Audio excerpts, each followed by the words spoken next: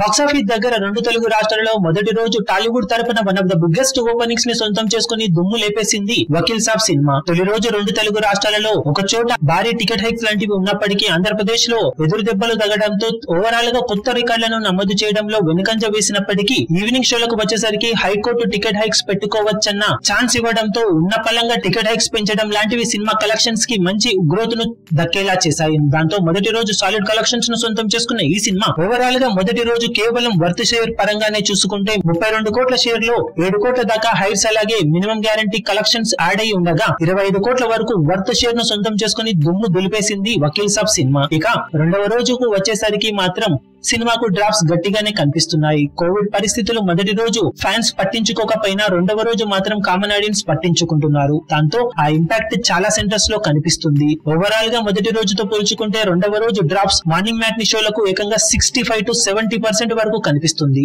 Ticket hikes కూడా కొన్ని సెంటర్స్లో ఇంపాక్ట్ చూపుతూ ఉండటం కలెక్షన్స్ పై ఇప్పుడు ఇబ్బంది చూపెట్టే అవకాశం ఉంది. కానీ ఈవినింగ్ నైట్ షోలకు వచ్చేసరికి గ్రోత్ భారీగా ఉండే అవకాశం ఉందని చెప్పవచ్చు. బుకింగ్స్ కూడా ఆశాజనకంగానే ఉండటంతో నైట్ షోలకు వచ్చేసరికి సినిమా గ్రోత్ సాధిస్తే మంచి కలెక్షన్స్ని రెండవ రోజు సొంతం చేసుకునే అవకాశం ఉంది. టాలీవుడ్లో అతి కొద్ది సినిమాలు మాత్రమే రెండవ రోజు పది కోట్ల వరకు షేర్ను సొంతం చేసుకున్నాయి. వకీల్ సాబ్ సినిమా ప్రజెంట్ ట్రెండ్ను గమనిస్తే ఎనిమిది కోట్ల రేంజ్ కలెక్షన్స్ను సొంతం చేసుకునే అవకాశం ఉంది. ఇక ఈవినింగ్ అండ్ నైట్ షోలలో సినిమా సాధించే గ్రోత్ను బట్టి ఆఫ్లైన్ టికెట్ సేల్స్ లెక్కలను బట్టి ఈ లెక్క పది కోట్ల మార్కు చెరువవుతుందా పది కోట్లను మించుతుందా అనేది చెప్పగలం. నైట్ షోలకు వచ్చేసరికి సినిమా రిపోర్ట్స్ చూసి మరో వీడియోలో అప్డేట్ చేస్తాం.